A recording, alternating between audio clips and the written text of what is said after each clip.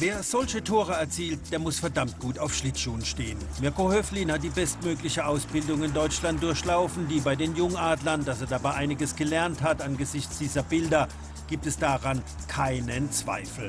Der Besuch in der ehemaligen Kabine ist auch ein Blick zurück.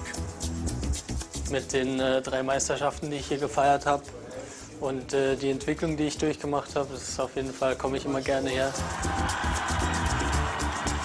jedes Mal den Pokal hochheben nach der Meisterschaft, das war äh, das Beste.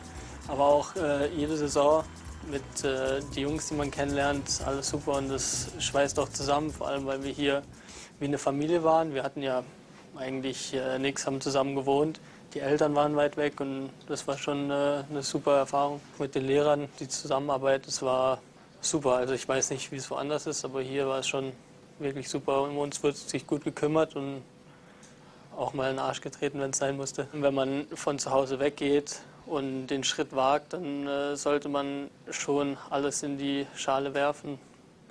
Aber mit dem zweiten Standbein Schule hat man auch kein so Risiko. Und äh, von dem her, bei mir hat es jetzt zum Glück geklappt. Da bin ich auch stolz und äh, froh darüber. Also ich bin äh, damals hier gesessen Sozusagen bin ich auf dem Platz groß geworden. War das immer das Ziel von, von quasi vom ersten Moment an, dass du gesagt hast, komm, ich will auch wirklich Profi werden oder entwickelt sich sowas erst im Laufe seiner Jugendzeit? Ja gut, also als kleiner Junge wünscht man sich das natürlich, wenn man auf die Spiele geht. Irgendwann will man halt in seinem, eigentlich in seinem Heimatteam in der ersten Mannschaft spielen. Er hat es geschafft. Nach zwei Meisterschaften mit den Jungadlern ging der 21-Jährige für zwei Spielzeiten in die kanadische Juniorenliga. Sein erstes Spiel in der DEL bestritt er Ende September 2012. Mittlerweile ist Mirko Höflin ein fester Bestandteil der Mannschaft. Der Besuch in der Kabine, die er früher nur aus der Entfernung kannte, Alltagsroutine. Dass ich jetzt hier bin, ist super. Das ist wie ein Kindheitstraum, der in Erfüllung geht. Ich habe auch ein äh, Adlertrikot von früher. Und ja, das war ein großer Wunsch, hier mal zu sein. Und als Junger wird man halt immer also aufgezogen. Bei den ersten Spielen versuchen sie, dass du alleine aufs Eis gehst und so.